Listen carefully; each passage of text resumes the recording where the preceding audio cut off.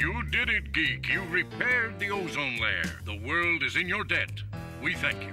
Don't thank me, Secretary General. Thank Sam and Max, freelance police. Oh, go on. Stop it.